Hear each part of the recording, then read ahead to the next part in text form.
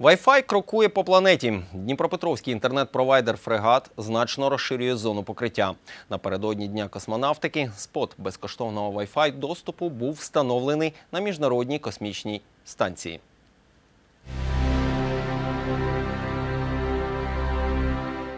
Мы давно уже стараемся дать беспроводной доступ везде. Вот в больницах, госпиталях, перед этим были парки, городские трамваи.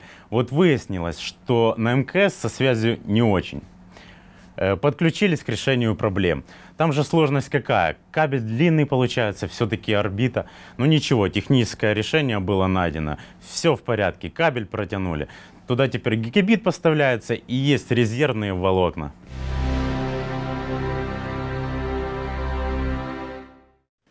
У компанії повідомляють, що у зв'язку із нововиявленими можливостями розглядають варіанти надання швидкісного безпровідного інтернету по всій планеті, навіть у важкодоступних місцях. Мені повідомляють, що у нас готовий відеозв'язок, пряме включення з МКС. Андрій, доброго вечора. Як чутно нас?